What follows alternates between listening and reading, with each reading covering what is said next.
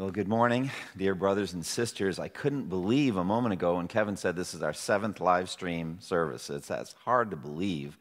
Um, but you know, every week brings us closer to seeing Christ face to face. Isn't that good news? And we can always think about that. Also, just consider in redemptive history how much God has put himself under great disadvantages and then overcome them. He consistently does this. He did it by confusing the languages at the Tower of Babel, knowing what difficulty it would make for the spread of the gospel and overcame it by the gift of tongues, the ability to speak languages without studying them at all, and then the gift of diligence on the part of missionaries to learn languages. Think about how it was better for God to speak to the Israelites directly by his own voice at Mount Sinai. It was a step down for him to commit that speaking ministry to Moses, and then a step down from there to not get Moses, but to read what he wrote. And yet, God overcomes all of these disadvantages again and again. Think about the Apostle Paul. He enchained him, uh, this great church planting missionary. He enchained him, and yet at the end of his life, Paul wrote 2 Timothy 2 9, God's word is not chained. And one other thing is prayer, and I get a chance to pray now, as Kevin just did. And when we pray, we should always be mindful of the fact that our mediator is constantly at the right hand of God and always lives to intercede for us and how it says in Romans 8 that the Spirit intercedes for the saints in accordance with the will of God, we are already thoroughly prayed for. But now we can join the Son and the Spirit in praying to the Father for one another. So let's pray. Father, thank you so much for this opportunity we have to gather electronically. Uh, Lord, we know it's not the same, it's not as good, but we also know, as I just said, that you consistently put your work under disadvantages and then overcome them by your sovereign grace. And so we're grateful for that, Lord. We're grateful for another week closer to heaven, another week closer to being uh, with you face to face, and as we trust, another week closer to being able to fellowship physically with one another here at the church. We look forward to that. In the meantime, Lord, we join you in praying for the work of God around the world. We pray, as you did, Lord, in the great high priestly prayer, that we would be kept safe from Satan's attacks, that we would be made one as the Father and the Son are one that we would be sanctified by the truth, set apart from sin and from wickedness and darkness by the ministry of the word. We pray, O oh Lord, that you would prepare us, as Kevin just prayed, prepare us uh, to share the gospel as you give us opportunities. We can do some of that electronically with lost people now through emails, phone calls, other things. But Lord, we know uh, uh soon we believe that we will be able to have normal life again at work or in the marketplace and different places of life, and that we yearn, oh Lord, we yearn to share the gospel of life as we're in a world of death, a, dying world, a world of disease and suffering and sorrow. Uh, we know that there is only one light in this dark world, and that is the gospel of Jesus Christ. So give us, O oh Lord, the courage, give us words uh, to say. Help us to be mindful of our brothers and sisters, mindful of those that are suffering in our midst, not just from COVID 19, but there are all kinds of other things. Some of them related, like economic difficulties, some of them completely unrelated to the virus. But Lord, we know that you are working in all things to, to uh, cause all things to work together for good for those who are called according to your purpose. So help us to be faithful in praying for one another in this local church, to pray for the elderly uh, who are more vulnerable, uh, to pray for those whose jobs have been threatened. Uh, to pray uh, for the leaders of our church, for the elders, as we meet tomorrow evening to discuss uh, wise steps toward reassembling whenever we get a chance to do that. Lord, just be with us in all things. And now we need you to unfold the Word of God. The Word of God will, will be meaningless to us, it will not have any impact on us at all, even the perfect Word of God, apart from the ministry of your Holy Spirit. So be with me as I speak, and all of us as we meditate and study together. We pray in Jesus' name. Amen. I'd like to ask that you turn in your Bibles to 1 Corinthians 13, and we're going to begin this next phase of our walk through this incredible book, 1 Corinthians as we get to this chapter, I would say perhaps one of the most famous chapters in all the Bible. I have the privilege again and again of officiating weddings, and I would say probably two thirds of the weddings I've officiated, this has been one of the scriptures that people have chosen to read. And it's, and it's right uh, to do that so we can celebrate Christian love at a Christian uh, wedding, a Christian marriage. Uh, and yet, these words, long time ago, ceased to be sweet wedding poetry for me um, there is a, a toughness to 1 Corinthians 13. Once you start meditating on this definition, this comprehensive definition of what love is and what love isn't, how it affects us, uh, and what will happen if we don't have it, it is a very strong chapter. To some degree, you feel, you know, that expression like we're being put through the wringer. Um, I think about that. Uh, I think over a century ago, my grandmother used one of those old style washing machines. You can picture a big kind of tub with sudsy water, and you're taking the dirty garment and putting it in there, and, and you're racking it and, and rubbing it on this rack and pulling it up, and it's dripping, and you're rubbing it some more. And then you put it through the wringer as it squeegees out all of this dirty water, and you look at it, and it needs to be washed again. And so it is, I feel like we go carefully, step by step, through 1 Corinthians 13. We feel like we're being put through the wringer. And I think we need to have uh, not too light a view or too heavy a view of this chapter. And so, week after week, I'm, go- I'm go- going to want to go both sides. I want this chapter to have its way with us, I want it to work us over. I'm going to make an argument in the weeks that we have to study this chapter that this is a, a pure distillation of the law of God horizontally one to another, the second great commandment. And as law, it's going to work us over. Uh, it's not here to tell us how wonderful we are and how, how incredible we are and how good at loving. It's to show us our faults and our flaws and our deficiencies. So we can't have too light a view of it as it's a kind of fluffy wedding poetry, but we can't be crushed by it either. It ends up, 1 Corinthians 13 ends up in heaven. It ends up with, with heavenly love. And we someday, brothers and sisters, through the ministry of the gospel and through the transformation of glorification, we are going to be perfected in love. So we, want, we don't want to be crushed by it either. We want to have a serious walk through this chapter and find ways that we need to grow and develop in love, but we also need to be filled with hope.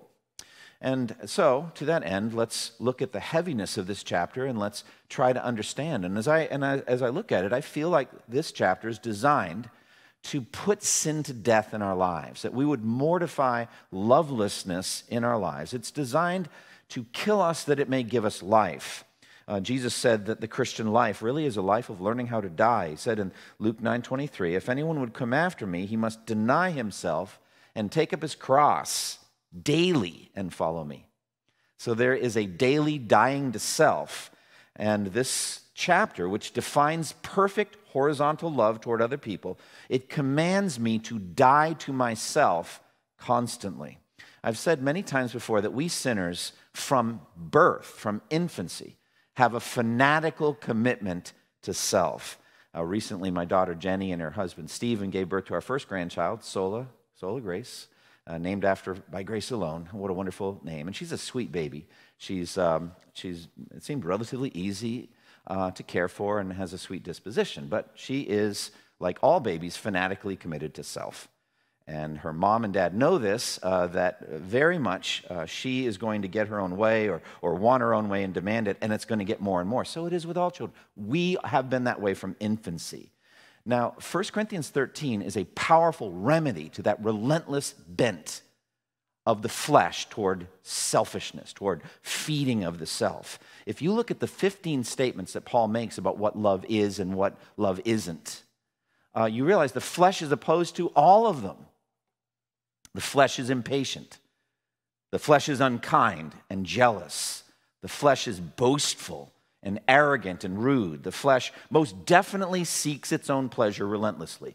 The flesh is easily provoked the flesh definitely keeps a record of wrongs done to it. The flesh does not delight in the truth, but rejoices in evil.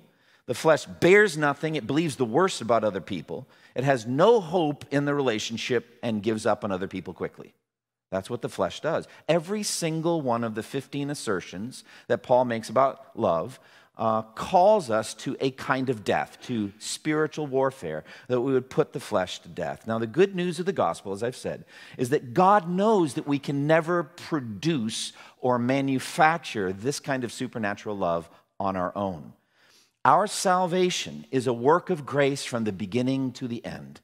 It is the very thing the cross and the empty tomb of Jesus Christ are brought into the world and into our lives to produce that we would become supernaturally loving people. This is the work the Spirit wants to do in us. So, for a number of weeks, we are going to be walking through this chapter. We're going to slow down, we're not going to hurry through it. Uh, already have written, I think, four more sermons on this, and I'm not even beyond verse seven, I think, or six, something like that. So we're going to take our time, and we're going to let the Holy Spirit do its work on us in reference to love. Now, other than the Holy Spirit and our dear friend, the Apostle Paul, Uh, one of my guides through these sermons will be Jonathan Edwards, a great Puritan, New England Puritan pastor from the 18th century, who preached, now get this, 16 sermons through these 13 verses uh, in the year 1738. The revival at Northampton, Mass, had already happened a few years before that. The first Great Awakening was still a few years off, and so in between, he preached this series of sermons uh, to exhort the church to a life of daily love with one another. And it's a, a marvelous work, a detailed work. I'm not going to preach, I don't think, 16 sermons and 13 verses, but I, am going to lean heavily. Uh, these sermons were gathered in a volume called Charity and Its Fruits, and I would commend it to you. You can read it online, it's public domain, and I'll be leaning on his insights again and again. Now, I want to begin by saying that love is the supreme goal of our salvation. This is what our salvation is meant to do, to make us love. Edwards put it this way all the virtues that are saving and that distinguishes true Christians from others are summed up in Christian love. He also says, Notice what excellent things are being mentioned as worthless without love. The most excellent things that have ever belonged to natural man. The most excellent privileges and the most excellent performances are nothing without love. So, things such as speaking in tongues, prophesying, fathoming the deepest mysteries of the Christian faith, possessing all true knowledge, laying down one's life as a martyr, giving everything that one possesses to the poor and needy. These are some of the greatest privileges and some of the greatest performances there could ever be on earth. And Paul says all of them are worthless without love. If even these most excellent things, privileges and performances, are worthless without love, then love must truly be the sum and substance of our Christian religion. And I think it is. Now, I think if we look at the two great commandments that Jesus gave, he was asked, What are the greatest commandments of the law, or which is the greatest commandment in the law? Matthew 22, 36 through 40. Jesus replied, Love the Lord your God with all your heart, with all your soul, and with all your mind. This is the first and greatest commandment. The second is like it Love your neighbor as yourself. All the law and the prophets hang on these two commandments. So, therefore, love really is the sum of what God is working in us by His grace. Paul makes a similar assertion in Romans 13, verse 8 through 10. He who loves his fellow man has fulfilled the law. The commandments do not commit adultery, do not murder, do not steal, do not covet, and whatever other commandments there may be are summed up in this one rule love your neighbor as yourself. Love does no harm to his neighbor, therefore, love is the fulfillment of the law. So, everything that Christian salvation works in the soul is ultimately summed up in this one word love. Now, love vertically for God above all else, that we would love God more than any creature, above all things, that we would love God with all of our heart, soul, and mind. But 1 Corinthians 13 is not primarily, or first and foremost, about vertical love, love for God. It is definitely about horizontal love that we should have for one another. Now, what do we mean by love? We use this word all the time, don't we? Uh, it's remarkable how the same four letter word, the same English word for love, is used for such a wide uh, range of experiences. Like, I love my wife. I love our dog. I love my new suit. I love going to the beach. I love seafood. I love college football. I love chocolate chip ice cream. I love Jesus Christ. Now, if any of you know me, you know that that list does not entirely refer to me. But we use those expressions uh, for everyday life experiences. The same word. Really, I love chocolate chip ice cream, and I love Jesus Christ who died for me. Oh, we use the same word. Now, the Greeks had different words for love. For example, sexual love, eros, uh, family affection or natural affection, like a parent would have, a mother would have for her uh, infant, storge, brotherly affection that we would have for friends, philia, and then a morally pure, self denying love, agape, which is the focus here. Sometimes those words are used interchangeably in various verses, but those are different aspects of, of love. But we, in English, we just have this, this one word, love. Now, Jonathan Edwards defined love in this way that by which, love is that by which something is dear or precious to another. That, that by which something is dear or precious. He goes into much greater detail in another great work he wrote, which is Treatise on Religious Affections. And in Treatise on Religious Affections, he said that the human heart has a twin ability, a capacity, first, to understand something in terms of its, its nature and its behaviors, etc. That's more of a scientific knowledge and evaluation of something. And then, secondly, to be attracted to or repulsed from that thing to a greater or less degree. So, attraction would be that by which we use the word like or liking or love, and then repulsion by which we use the word disliking, even to hatred. In, in my own heart, I've, I've had a sense of a number line of affections, with zero being uh, perfect indifference, and then the positive being liking on into loving, and then the negative being disliking on into hating. We, we do this all the time. And so, therefore, I tend to think of it as the heart's capacity to be attracted like a magnet, or conversely, to be repulsed. But we're talking about positively love, that our heart is attracted, that by which something or someone is dear to us or we're drawn to it. Now, when it applied to human beings, as in this chapter, it has to do with a heart disposition, affections toward other people. Now, what you love and what you hate ultimately define you as a person. In Hebrews chapter 1 verse 9 it speaks of the father's love for the son and why he loves him and esteems him so highly. In Hebrews 1 9 it says, "You have loved righteousness and hated wickedness." Therefore, God, your God, has set you above your companions by anointing you with the oil of joy. That's the Father's commendation of the Son. Dear Son, my Son whom I love, it's because you love righteousness and hate wickedness that you are the greatest of all human beings. It defines you as a person, what you love and what you hate.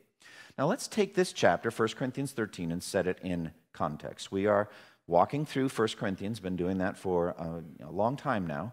Took a break, but now we've come back to it. And we're in the middle of a section in which Paul is writing to this sadly very, very talented, gifted church but dysfunctional in so many ways. He's writing them, 1 Corinthians 12:1, about spiritual gifts, special abilities that God gives through the Holy Spirit to build up the body, special abilities uh, like speaking in tongues, prophecy, giving, uh, administration, special abilities. So we've got three chapters on this 1 Corinthians 12, um, 13 and 14. Now, the Corinthians were fractious and divided and prideful and arrogant, and some of them were very boastful about their spiritual gifts. They thought very highly of themselves.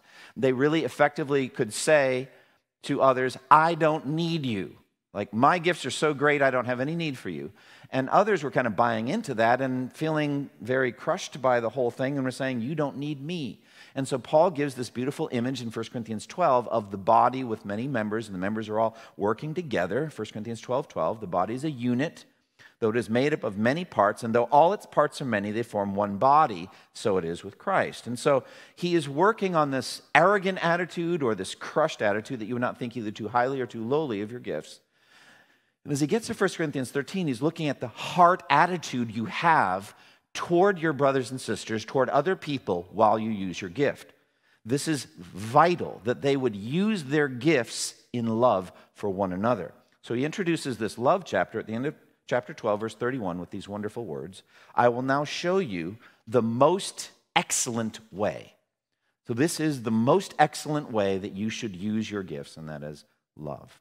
Now, he begins with the gift of tongues. Tongues without love, he says, is empty noise. Look at verse 1.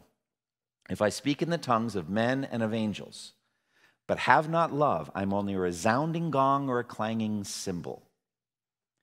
So I think the Corinthians, those that had the gift of tongues, were very proud of that gift. It was, it was a supernatural gift. It elevated them, like in their pagan days, the frenzy and like the Oracle of Delphi and all that, to be touched by the divine or the supernatural and be able to speak in tongues. It elevated. They were very arrogant, very proud of their gift. So Paul shows them how vital love is compared to the gift of tongues. And he uses extreme language, really, in all three of these verses. If I take the gift and push it to its extreme, and I don't have love, it's really worthless ultimately. So he uses the word if, if, if, if, if.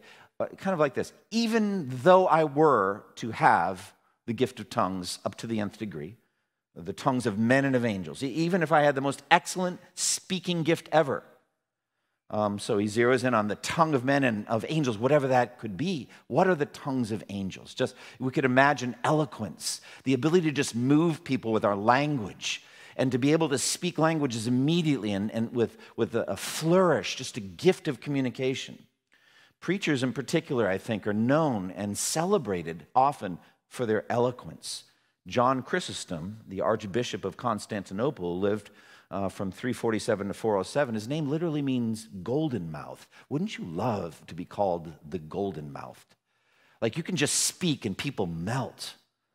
Just amazing. Or John Bunyan, who is a tinker, that is a repairer of pots and pans and sharper, sharpener of knives. Very much a blue collar guy, not, not ed- educated, but he had an amazing gift of language. He was an incredible preacher. And we see his gift of language, of course, in, in uh, Pilgrim's Progress, but he was an amazing preacher. And John Owen, the great Puritan theologian, loved to go hear him preach. Well, John Owen was an aristocrat, very well known, and a friend of the king. And the king said to him, Why do you go hear that, that, that tinker prattle? He was very disdainful of Bunyan because he's, you know, he's a low, low class, lower class person. And Owen said, May it please your majesty, if I could possess that tinker's abilities to move men by words, I would surrender immediately all of my learning. Just his ability to move people by eloquence. George Whitefield, perhaps one of the most eloquent, passionate preachers of the gospel in church history, had an amazing gift of eloquence. Uh, so much so that an actor named Garrick said these words, heard him preach, and said, he could move, Whitefield could move men to tears by simply pronouncing the word Mesopotamia. It's like, wow, I mean, to have the ability to melt people by saying Mesopotamia. Charles Spurgeon was known as the Prince of Preachers, the, probably one of the most eloquent uh, speakers of the English language ever. He went up without any notes at all, and just all you have to do is read a Spurgeon sermon and say, How could this level of eloquence flow through anyone's mind? But he said this about eloquence let eloquence be flung to the dogs rather than souls be lost.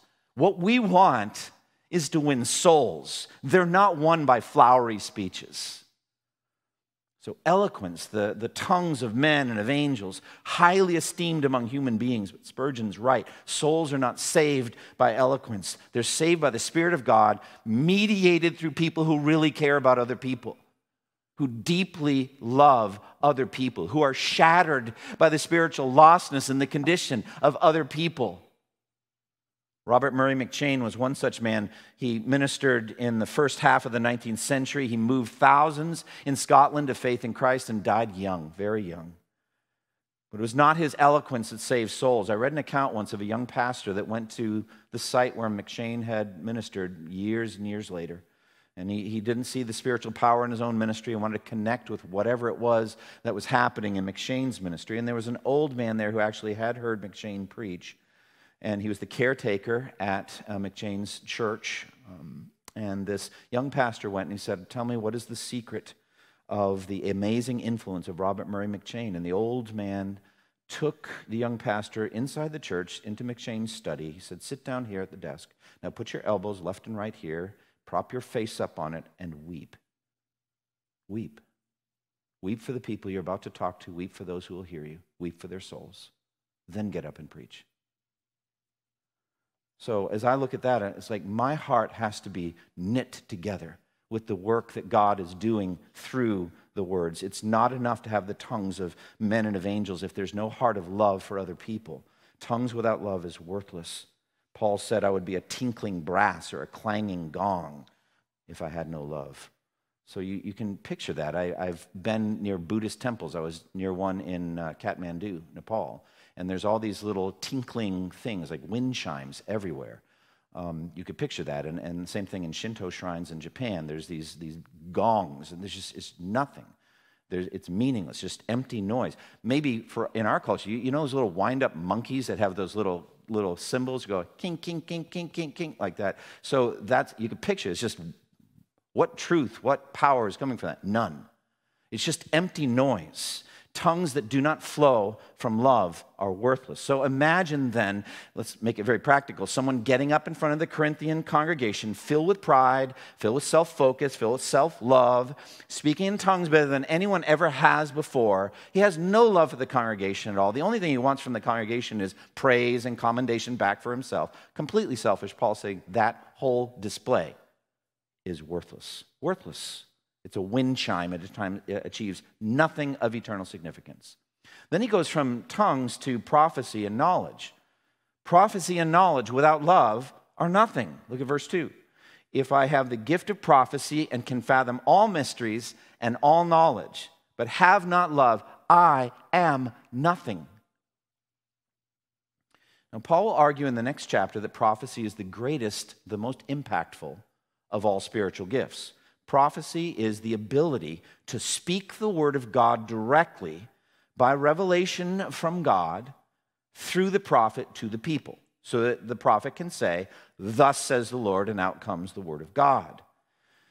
Though the Corinthians greatly esteem tongues, Paul will want them, he'll argue in chapter 14 that they should yearn even more and esteem even more the gift of prophecy because of the impact it has on people's hearts. 1 Corinthians 14 24 and 25, it says, If an unbeliever or someone who does not understand comes in while everybody is prophesying, he will be convinced by all that he is a sinner and will be judged by all. And the secrets of his heart will be laid bare. So he will fall down and worship God, exclaiming, God is really among you. That's the impact of prophecy used by the power of the Holy Spirit. But what Paul's saying here in chapter 13 is that pro- the prophet who has no love is nothing. Now, certainly, a genuine prophecy from God, the words can have impact even if the prophet himself is a worthless man. We know this, for example, Balaam. Balaam spoke true prophecies about Jesus centuries out. I see him, but not near. A star will arise in Jacob. The words were true, but Balaam was worthless. He was a worthless man though he spoke true prophecies, he, he led Israel into sin with Moabite women and was slaughtered as a result.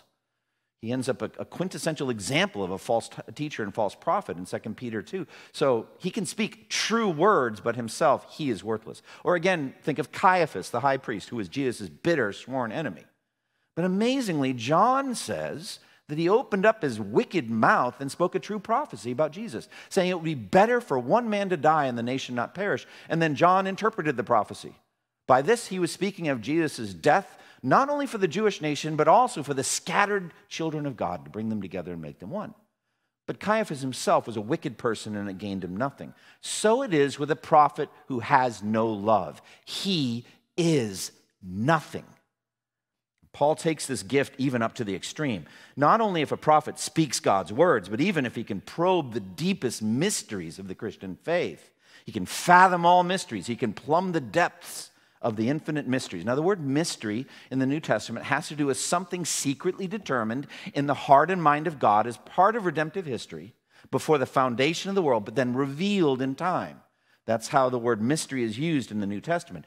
And so along comes this prophet who can fathom it right away. He understands exactly what God's doing in all of these New Testament mysteries. And not only that, but he possesses all knowledge, all doctrinal knowledge. He speaks of an individual with the greatest prophetic gift, with, with uh, theological perceptivity to be able to probe the deepest mysteries of the Christian religion. And there's no question that stumps him. Anything you could ask him about Christian doctrine, he can answer. Much like Solomon on issues of wisdom when the Queen of Sheba came from the ends of the earth to listen to Solomon's wisdom. 1 Kings 10:3 it said Solomon answered all her questions. Nothing was too hard for the king to explain to her. Now such a giftedness would be mind-boggling. To have, have an individual with this level of prophetic gift, you'd think a person like this would be extremely valuable worthy of tremendous reward in heaven. But Paul says, even such an extraordinary person, if he has not love, he is nothing. Now, we want to be a church that knows doctrine. We want to be a, a, church that knows the deepest mysteries of the faith.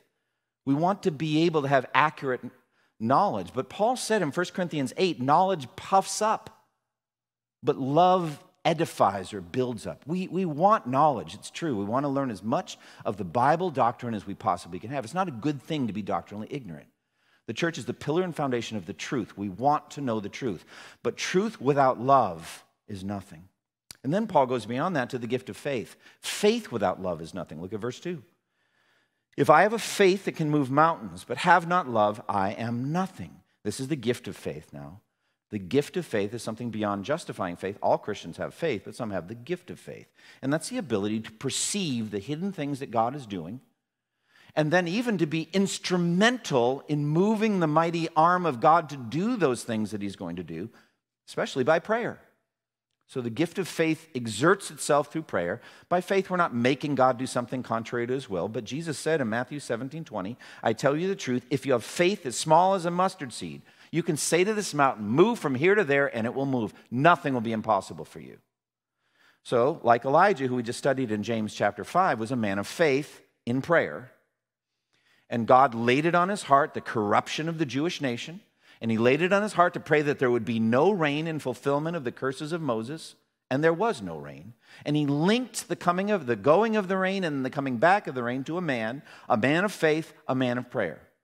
And so we saw this in James 15, 17, 18. Elijah was a man just like us. He prayed earnestly that it would not rain, and it did not rain on the land for three and a half years. Again he prayed, and the heavens gave rain, and the earth produces crops. So this is great. It's a great gift, a gift of faith. So a man or a woman with a faith that can move mountains would be amazing. An extraordinary gift, an incredible blessing, we would think, to the church a mover and shaker in our time, somebody that actually is almost shaping history right before our eyes by his or her amazing prayers. I think about John Knox, the great Scottish reformer in the 16th century. He was a fiery man, but also a man of strong faith, and who pled in prayer, saying, Give me Scotland or I'll die. It's kind of passionate. He wanted to win his countrymen, fellow Scots, to a genuine faith in the Reformed gospel, in the true gospel, away from uh, medieval Catholicism and its, and its wrong understandings of the gospel. He wanted to win individuals. He's a man of prayer, fiery preacher and fiery man of prayer. But Mary, his lifelong enemy, was Mary, Queen of Scots, and she said, I fear John Knox's prayers more than all the assembled armies of Europe. So, talk about a man of great faith and prayer. But Paul says, even such a man or a woman of faith exerted in this kind of prayer is nothing if not moved by love. Now we get to verse 3, which I consider one of the toughest verses in the entire Bible.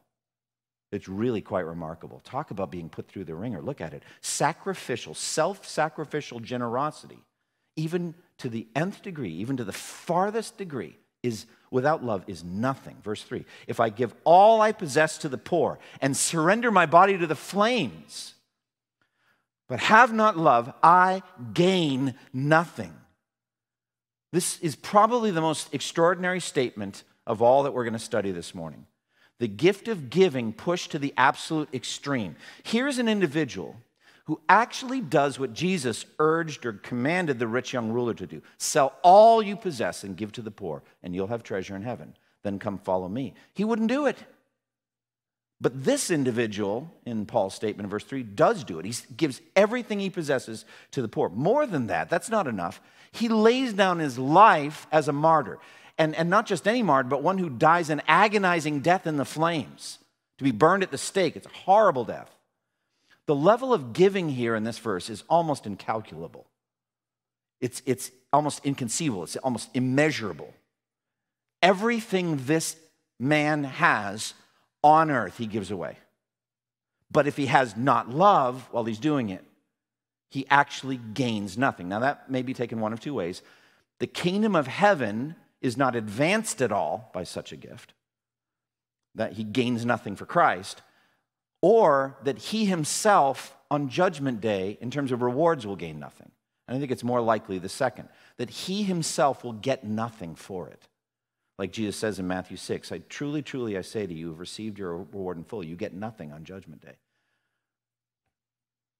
Do you not feel the weight of this? Very few of us would ever get to this level of self-sacrifice and self and self-denial and love. But if you don't have love while you're doing it, then you gain nothing. So this past week, when we are doing uh, talking about the doctrine of rewards, I added this as a key plank in understanding what God rewards. You have to have a loving demeanor in your heart, a love in your heart while you do what you do, or you gain nothing. Now, it's very important for us to understand, therefore, love is defined both as an action and an attitude. Both sides are important. Not the one without the other, not the other without the one. The Bible makes it very plain that a loving feeling that never results in any actions is worthless too. 1 John 3 16 through 18 said, This is how we know what love is. Jesus Christ laid down his life for us, and we ought to lay down our lives for our brothers. If anyone has material possessions and sees his brother in need but has no pity on him, how can the love of God be in him? Dear children, let us not love with words or tongue, but with actions and in truth. Well, that's true as well. So, love that does not sacrifice and produce actual works, actual money given if that's the need, actual uh, service, word, works of service is worthless. Faith without deeds is dead. We understand that. Love inevitably produces actions, and love actually, the, the greatness of love can be measured in the level of sacrifice. The more of a self denying sacrifice it is, the greater love it is. Jesus said that in John 15 13. Greater love has no one than this, that he laid down his life for his friends. So true love always results in sacrificial actions. That is true. But 1 Corinthians 13 gives the other side of the equation. There has to be a demeanor, an attitude, a heart of love behind the action, or it's worthless. There's a heart aspect, then, an affection, a horizontal delight in the other person. Think about the, the Corinthian, uh, 2 Corinthians 9, the Macedonians, who gave money to the poor among the saints in Jerusalem. You remember that? And Paul talks about their attitude. 2 Corinthians 9 7. Each man should give what he has decided in his heart to give, not reluctantly or under compulsion, because God loves a cheerful giver. So there it is. There's a heart of affection, a heart of delight in the giving. The Macedonians begged for the opportunity to give. They yearned to be able to give because their hearts were knit together with their brothers and sisters among the Jews in Judea, in Jerusalem.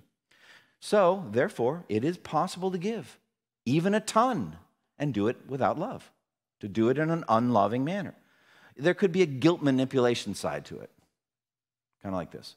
I hope you realize what this has cost me. You do know. I mean, this was a big deal for me, that kind of thing. So there's that, you know, that, that manipulation that, uh, you know, do you understand what the cost was to me? Uh, Proverbs 23, 6 through 8 talks about such a person and uh, gives us some advice. It says, Proverbs 23, 6 through 8, do not eat the food of a stingy man. Do not crave his delicacies, for he's the kind of man who's always thinking about the cost. Eat and drink, he says to you, but his heart is not with you. You will vomit up the little that you have eaten, and you will have wasted your compliments. So, this is fundamental to love. The person giving has to expand his own heart to take in the person and delight in their blessedness through the giving. That's what Paul means by love. Jonathan Edwards said this In some sense, the most benevolent, generous person in the world seeks his own happiness in doing good to others because he places his happiness in their good. His mind is so enlarged as to take them, as it were, into himself. Thus, when they are happy, he feels it he partakes with them. He's happy in their happiness. This is so far from being inconsistent with the freeness of love that, on the contrary, free benevolence and kindness consists in it. This is what love actually is. Your heart expands to someone suffering or somebody going through something, and you want to take them in and make them blessed, make them happy. Now, I, I believe a lot of Christian teaching that I've heard in my life is against this. I've heard again and again love is an action. It's an action. It's not a feeling. Love is not a feeling. Christian love is not a feeling, it's an action. You've heard that, and I know it's, it's leaning so heavily on 1 John 3 that I just read. But what I'm saying is, no, no, that's not true. Christian, Christian love is an action and a feeling. It's a feeling or a sense in the heart that leads to action. And without the one, it's worthless. That's the very point that Paul's making here in verse 3. Uh, John Piper makes much of this in his book, Knowing God. In his chapter on love, I know some of you have read it and you remember that phrase, dutiful roses. Remember that? Where, where the husband says to his wife, he said, I want you to know, um, I get nothing out of this. We, we're told that this is Christian love, is what we call disinterested benevolence. I get nothing out of it. Just want you to realize I get nothing out of this. I, have I've read on the calendar that it, today is our anniversary. And in our culture, there is the giving of roses on anniversary. So I am hereby giving you 12 roses in fulfillment of the rules of our culture. I want you to know I feel nothing, no personal delight out of this giving. Here you are, happy anniversary. I mean, who wants roses like that? Honey, if you if you don't enjoy giving them, then don't give them. You need to expand your heart and say, I'm happy because you're happy. And the roses are a means to that end. So, 1 Corinthians 13 implies our hearts must be engaged. They need to be delighted. Like Jesus died on the cross for the joy that was set before him, because he wanted to expand his heart and include wretched, miserable sinners like you and me. And so there was a joy even in the sorrow of giving up his body on the cross. That's what love is. So, as we look at this, we think, how could this even happen? How could love to this nth degree be done without, without, or how could gifts to this nth degree be done without love? How could someone speak in the tongues of men and of angels without love? Well, there's no horizontal expansion. He doesn't take uh, his brothers and sisters in and say, I want you to be blessed by this. Uh, how does someone have the gift of prophecy and an ability to fathom all mysteries and all knowledge and have not love? Well, it's all about him. It's all about his, his exquisite knowledge. His heart isn't enlarged or expanded to take in others and say, I want you to be blessed by the truths of God's word. How does someone give all they possess to the poor and surrender his body to the flames but have not love? His heart's not expanded to include them in the sacrifice. That's what it is. Fundamentally, then, love is a heart disposition, an attraction in the heart toward another human being or a group of human beings so that our blessedness is included in their blessedness. We want them to be blessed, and so we give. And it's described in the words that will follow. We'll study, God willing, over the next few weeks. Love is patient, love is kind. It doesn't envy, it doesn't boast, it's not easily angered. It's not proud, it's not rude, it's not self seeking, it keeps no record of wrongs. These things we're going to walk through. If that's who you are while you do your spiritual gift ministry, then you will be blessed. So, applications. First and foremost, I'm very aware that God, in His kind providence, brings all different kinds of people to this live stream to hear this. And I want to speak first and foremost to you who, who are not yet a Christian. If I could just say, before anything else can happen, before you can genuinely love, you need to be loved by God through Jesus Christ. We love because he first loved us. And so God shows his love for us in that while we are still sinners, Christ died for us. And so I plead with you repent of your sins Repent of all of your lovelessness. All sin is lovelessness. Repent of the ways you've been selfish and the way that you've fed your flesh and the way you've not loved others. All of these things are sins more than we could count. David said, My sins are more numerous than the hairs of my head.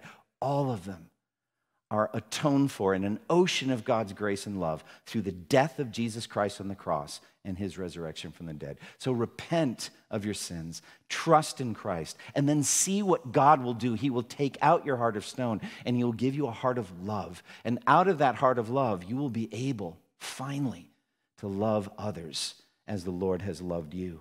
Now, if you are a Christian, I just want to say, let 1 Corinthians 13, first and foremost, be hard on you. Let it work you over. Let it put you through the wringer.